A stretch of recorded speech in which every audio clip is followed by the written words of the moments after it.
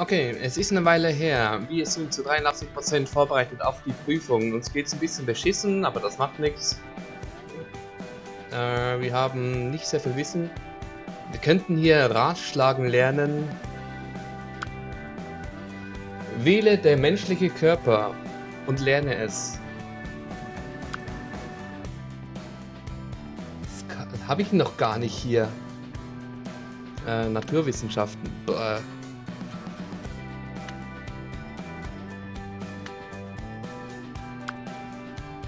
Vielleicht ist es auch bei Sport irgendwo, das könnte sein. Naja.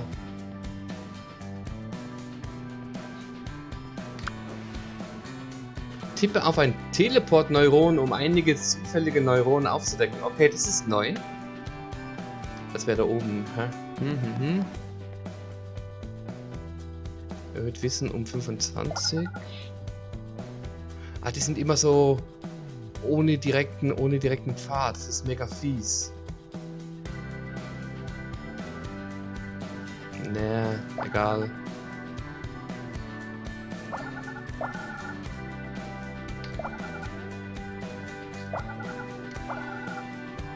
Na gut.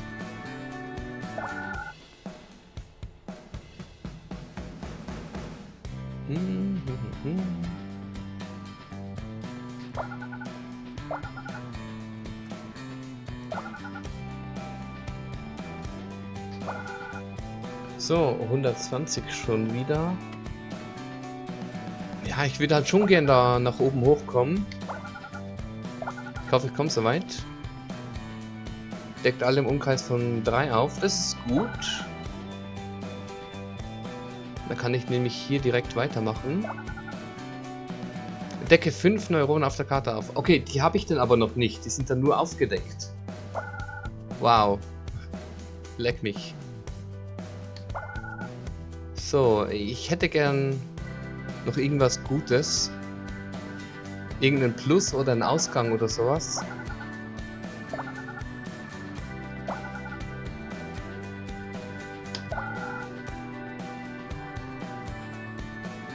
Hm. Wenn ich jetzt den hier mache und den hier, dann kann ich genauso gut das machen. Komm schon, irgendwas. Gib mir irgendwas. Leck mich. Ah, okay, cool. Yay, ähm...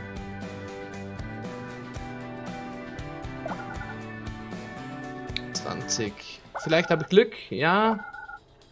Hab noch 10. Ein Ausgang wäre nice. Hast du das gesehen? Okay, ähm...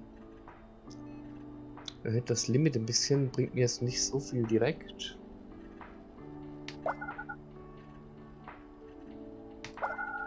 Da wäre noch ein Ausgang.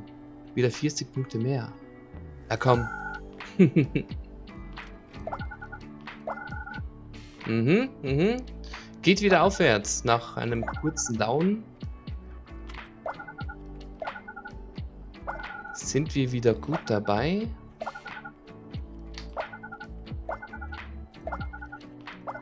Kacke. Supi. Nice. Läuft. Für 10. Ja, das ist mir ein bisschen wenig. Senkt die Kosten um 10%. Oh, nice.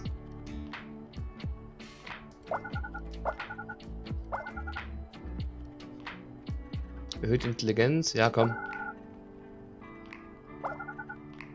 Hm. Kacke. Na shit, ich dachte, da könnte noch einer dabei sein. Nun gut, äh, was nehmen wir denn sonst noch? Gedächtnis wir super. Intelligenz, haben wir noch irgendwo Intelligenz? Ja, da. Okay, Naturwissenschaften, Schwerkraft. Ich würde sagen, wir nehmen das direkt, denn Humanbiologie ist doch safe, Naturwissenschaften.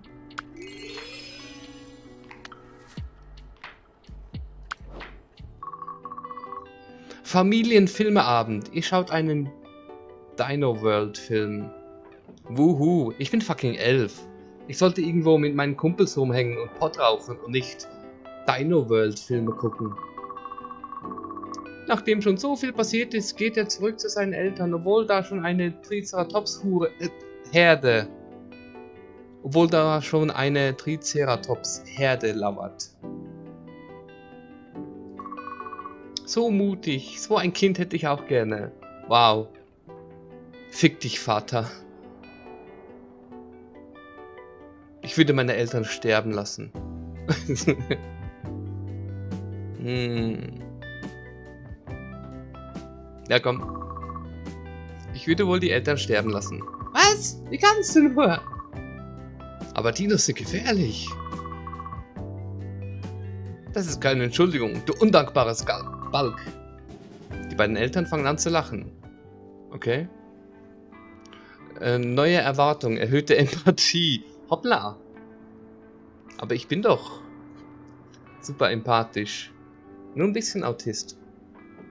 Du bist ein gutes Kind, bleibe so und versuche das später in die Welt zu tragen. Ja, und wie soll ich das machen? Einfach meine Empathie erhöhen? Um wie viel? 200! Habt ihr eigentlich euren verfickten Arsch auf? Okay, ich hole mir direkt ein Arcade-Ticket. Hatte ich nämlich, haben wir nämlich noch gar nichts gemacht.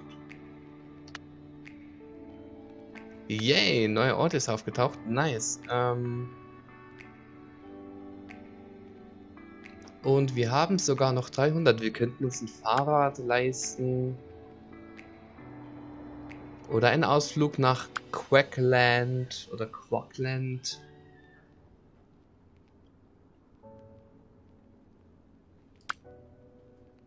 Eine Europareise. Quackland ist schon geil. Okay, das, das pusht die Werte ziemlich hoch, vor allem äh, das hier. Ah, da könnten wir... 100, 200, 100, 200. Da hätten wir, dann hätten wir das direkt voll, oder?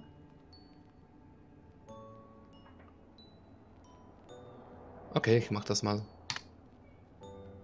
Endet die Runde. Du kannst weder übrige Aktionspunkte ausgeben, noch Fertigkeiten oder Aktivitäten im Stundenplan einplanen. Okay, dann warten wir damit noch. Wir haben schließlich ähm, unser, unser, unser Game-Spiele-Ticket äh, Hey du da, du siehst so aus, als würdest du dich mit diesen Spielen auskennen. Ja, ich spiele für mein Leben gern Pencom und Croker. Der Mann, der da am Spielautomaten lehnt, meint ganz offensichtlich dich und ist überhaupt nicht unheimlich. Er scheint verloren zu haben. Sein Name erscheint nicht auf der besten Liste. Ich kenne seinen Namen ja auch. Wie kommen Sie darauf? Naja, du läufst hier ganz selbstverständlich mitten am Tag durch eine Spielhalle. Ja, Schule ist aus. Solltest du als professioneller Pädophiler eigentlich wissen. Ich komme nicht an den Drachen am Ende des ersten Levels vorbei. Oh bitte, Minigame. Früher war ich echt gut in sowas. Aber zu meiner Zeit waren Videospiele noch orangene Quadrate, die man auf der Suche nach einem Schlüssel durch ein Labyrinth führen musste. Wie sieht's aus? Kannst du mir helfen? Na klar, immer ein paar Cheats zeigen, als ob in der Spielhalle irgendwelche Cheats, also nein, nicht als Elfjähriger, äh, äh, das ist unrealistisch, das tun wir nicht. Dem Drachen kann man nur Schaden zufügen, wenn sein Maul geöffnet ist. Ha, aber genau dann greift er an. Keiner sagt, dass es einfach ist, einen Drachen zu töten. Klugscheiß. Daher, dahin sollten sie ihre Tränke genau für diesen Moment aufsparen. Ja, Guter Witz, ich verbrauch's ja schon, um überhaupt zum Drachen zu kommen. Dann werden sie wohl noch üben müssen. Klugscheiß, Klugscheiß. Ja, da hast du wohl recht. Aber ich habe ja Geld. Ich lebe von der Stütze. Mit etwas Hilfe und Übung schafft der ältere Mann das Level am Ende doch. Älterer Mann. Äh, alter Mann steht hier sogar. An.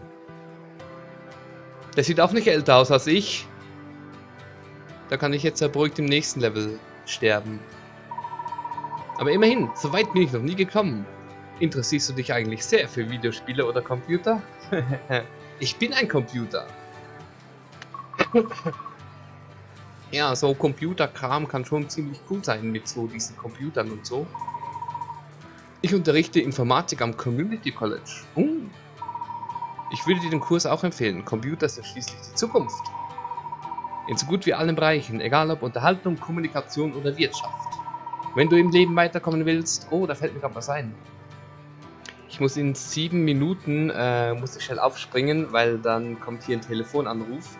Und da ich die Nachtwache hatte, muss ich da mich melden und sagen, dass alles okay ist und nichts in Flammen steht und so.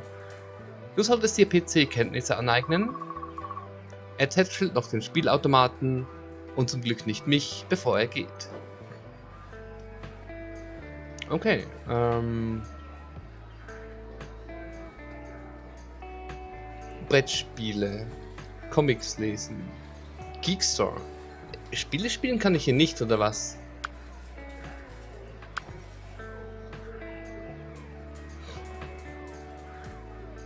Computerkenntnisse. Wenn ich die Maus bewege, dann bewegt sich der kleine Pfeil. Yay.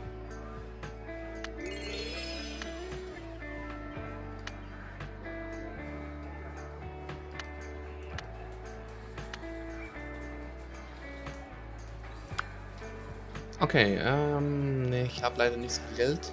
Spielchatton. Wenn du ihn reibst, stärkt es seine Konzentration 5 auf Gehirnpunkte Limit. Äh, das ist nicht schlecht.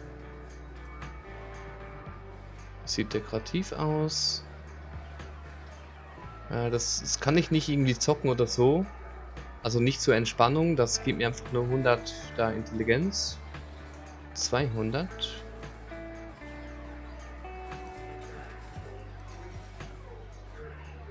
Ich nehme das da.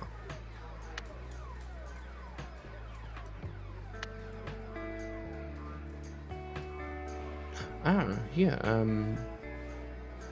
Jetzt kann ich hier Computerkenntnisse üben. Wuhu. Ja gut, wir gehen nachher eh auf Europareise, von dem her... Loser.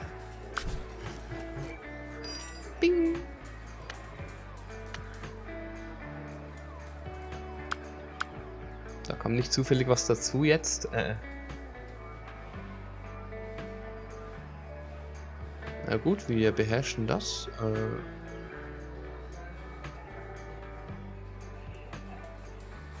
bisschen Comic lesen. Ah, warum nicht? Oh. Yay, ich kann Comics lesen. Boing. Oh Gott. Jumanji-Style. Äh, gut. Das heißt...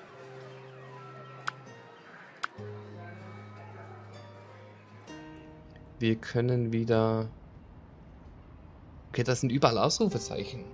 Ich gehe da mal überall hin. Da ist schon mal nichts Spezielles. Nope.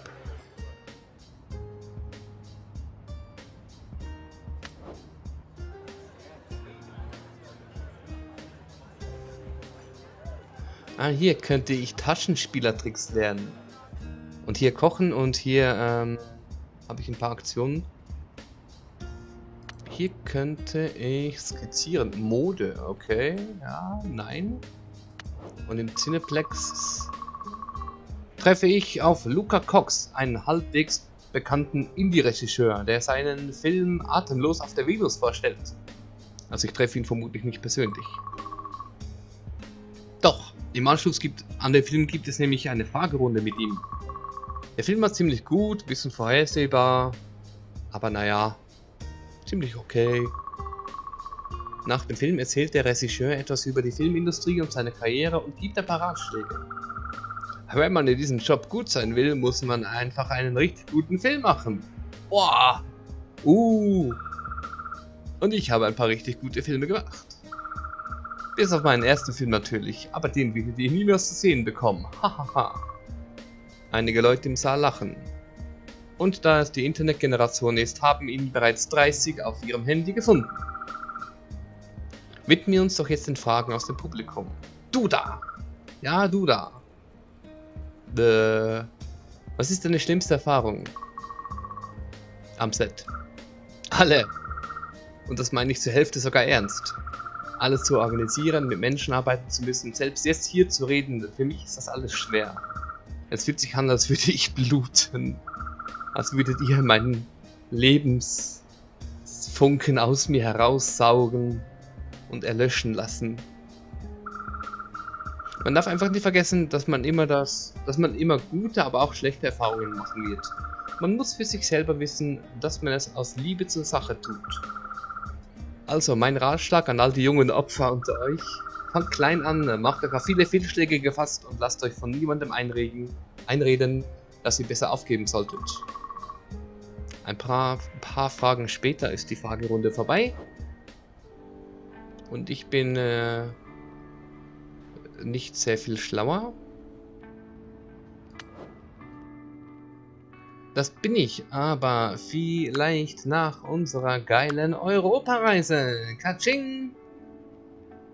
Ich kann dann heute zwar keine Hausaufgaben machen, aber das ist ja nicht schlimm. Errungenschaft freigeschaltet, Sightseeing, das war toll! Auf dem Weg zur Schule siehst du Jake, aber er geht in die entgegengesetzte Richtung. Jake, wo willst du hin? Ich schwänze. Kommst du mit? Ja, klar. Warum nicht? Du begleitest Jake, statt in die Schule zu gehen. Du gehst mit Jake in die Arcade. Nice. Hey, was läuft, J-Dog? Jake und Mort geben sich einen seltsamen Handschlag. Mort sieht dich an. Was geht, Kumpel? Nicht viel. Ah, doch bestimmt mehr als das. Ihr verbringt ein paar Stunden mit Videospielen, statt im Unterricht zu sitzen. Okay, Programmieren und Periodensystem. Alter, mit 11 kann ich schon Programmieren lernen. Erwartung, erhöhte Empathie erfüllt. Nice.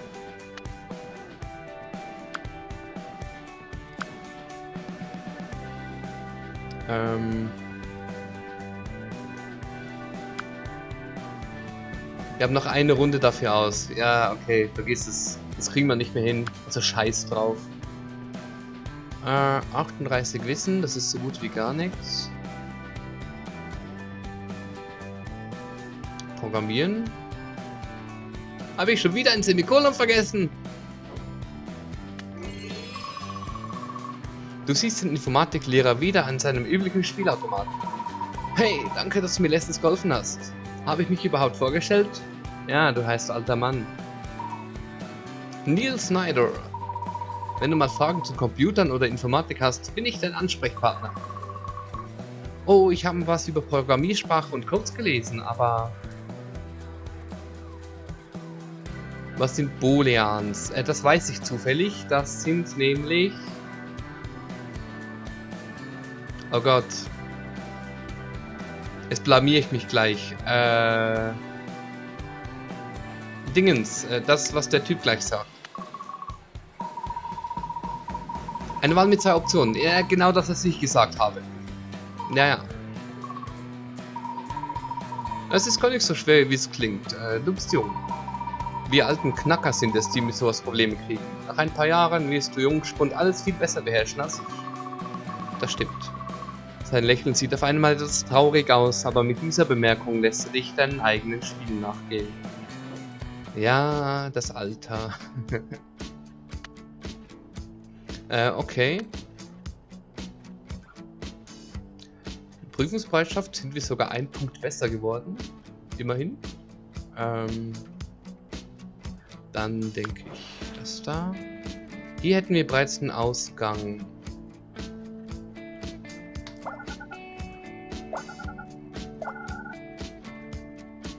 Den ich mir jetzt schon mal aufhalte. 10, nochmal 10.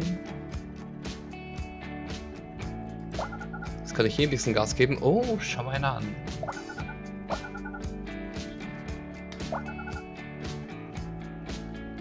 ...25 direkt drauf. Wir sind wieder bei 130. Nice. Äh, deckt vier Neuronen auf. Hm. Ja, komm.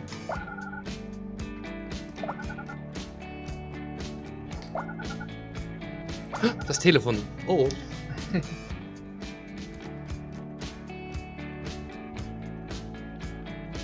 Wie lange klingelte das jetzt schon? Drei Minuten? Naja.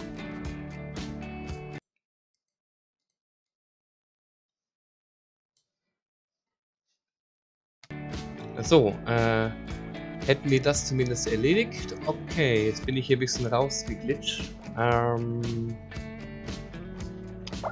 Vorstellungskraft. Äh, ich nehme hier mal das Wissen mit. Hm.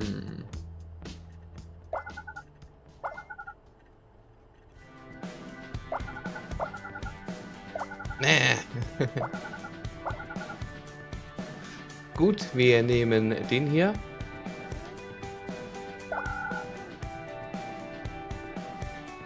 Hier ist direkt nochmal ein Ausgang.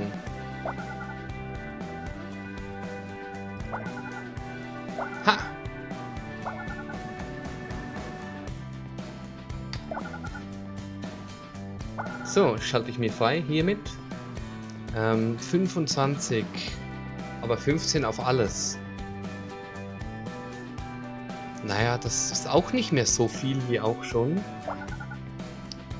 Nice.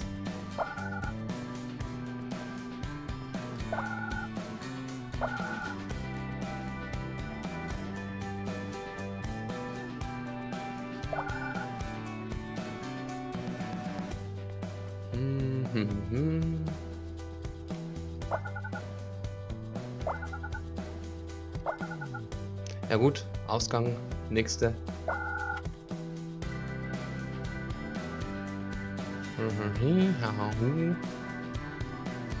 Ja, vielleicht kann ich mich da hinten vorarbeiten.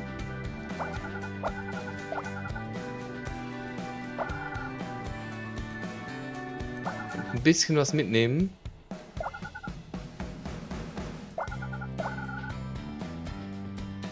Ja, das nicht. Das ist zu weit weg. Wie sieht's denn da aus? Hm.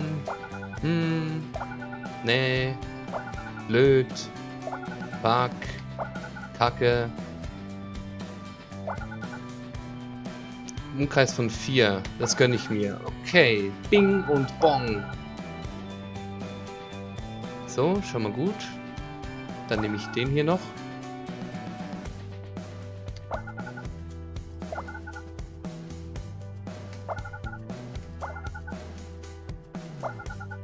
Hm.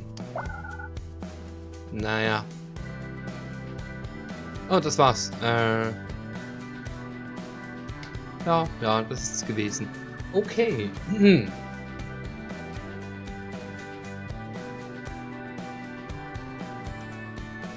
Dann gehen wir erstmal heim. Oder auch nicht. Mit einer Tasche voll Chips bewaffnet betrittst du die Arcade. Deine Eltern shoppen im Laden nebenan. Außerdem bist du mit Wendy verabredet, die du im Sportunterricht kennengelernt hast. Ah, die verkrüppelte. Oh nein. Okay. Sie und ihre Make-up-Effekte sind wie ein Rätsel, das dich neugierig gemacht hat. Hm. Du findest Wendy unheimlich glücklich an einem Ego-Shooter. Oh ja, Dämon, das hast du davon. Voll sass. Ha, Loser. Hi Mandy, ich glaube, du hast gewonnen. Oh, hey, Daydream, da bist du ja. Oh ja, ich habe gewonnen und ich wollte gerade mit meinen Brüdern ins Kino. Schon wieder nicht jugendfreie Filme gucken? Das verwirrt dich, da ihr ja verabredet wart. Wer lässt hier seinen Gameboy liegen? Der ist doch in fünf Minuten weg. Oh. Willst du mitkommen? Komm! Äh... Ja, bin ich jetzt sauer oder sage ich Da ist Geile wieder. Nee, die ist nicht so geil. Die hat äh, einige Makel. Wobei der Arm ist ja eigentlich schon cool, irgendwie. Das ist nicht so eine, nicht so eine, no, ist nicht so eine beschissene, möchte gern Handprothese, die nur so aussieht, als ob sie echt wäre, sondern es sind halt zwei so Klauen. Das ist halt schon irgendwie geil. Äh, sauer darüber sein, dass sie geht. Ja, ja. Ich zeig der Alten, wo der Bartel den Most holt. Ich bin doch gerade erst gekommen. Ich dachte, wir verbringen den Tag zusammen. Meine Eltern sind auch hier. Mein Vater wird davon erfahren. Ich wollte dir Bescheid sagen, aber ich habe deine Telefonnummer nicht. Das war für mich die beste Möglichkeit, in den neuen Freddy-Film reinzukommen. Oh, Freddy-Film. Für mich aber nicht. Mann, ich kann nicht glauben, dass du wirklich einfach abhauen willst. Oh, du Armer musstest in der Stockade bleiben. Ich kann nicht mal die Hälfte dieser dämlichen Spiele spielen, weil man dafür zwei Hände und zwölf Finger braucht. Äh, sagen, dass sie aufhören soll. Du sagst die ganze Zeit, dass man dich nicht wie ein Baby behandeln soll, benimmst dich aber wie eins. Und du musst dich auch nicht mit dem Mist rumärgern, den ich hier tragen muss. Das ist doch nicht meine Schuld. Oder bin ich etwa auch Mist für dich, hä? Du Schlampe. Jetzt vielleicht schon. Ciao. Ciao. Tschüss. Geh. Komm nicht wieder. Krüppel. Baby. Äh, ja, ich, ich glaube, das haben wir ziemlich souverän gemeistert. Ich denke, Casanova kann sich noch einen Tipps bei uns holen. Wir könnten hier noch da Kiss Kissenfestung voll machen. Yay. Mit elf. Äh, und davon abgesehen, was können wir denn noch machen? Ein bisschen Geld verdienen.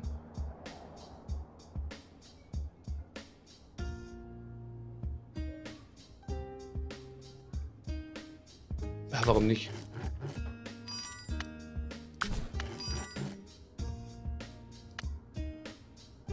Ah, weil ich das schon kann, bekomme ich hier quasi Zumindest hier die 15. Hier nicht das Maximum, aber hier die 15. Mhm, mhm. Das ist cool. Gut. Stundenplan. War der Computer vorher... Der war vorher nicht da, oder? Ich werde so langsam so zum kleinen Nerd. Okay, ähm... Programmieren auf jeden Fall. Das haben wir schon. Das ist doch keine Arbeit, komm. Das macht doch Spaß. Hm. Comics lesen könnten wir noch üben und das hier. Oder die verdammten Klimmzüge.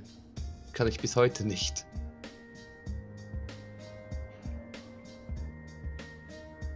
Makroökonomie. Hätten wir das voll. Komm. Schlecht. Schlecht. Gut. Nice.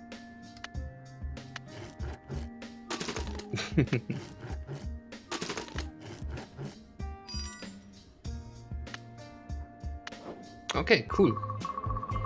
Endlich Mittagspause. Aber in der Cafeteria ist kein einziger Platz frei. Alle Stühle sind besetzt.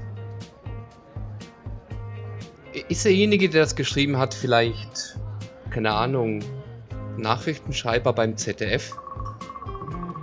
Du entdeckst eine Ecke, in der Wendy alleine sitzt und in einem Horrormagazin blättert. Ah, oh, Mann. Mit deinem faden Schulessen gehst du zu dem freien Tisch. Du bist nicht gerade erfreut, wenn die nach dem vermasselten Treffen in der Starcade zu sehen. Peinlich. Ah, siehst hier jemand? Wendy legt ihr Horrormagazin weg. Sie hält ihren Haken hoch wie einen erhobenen Zeigefinger.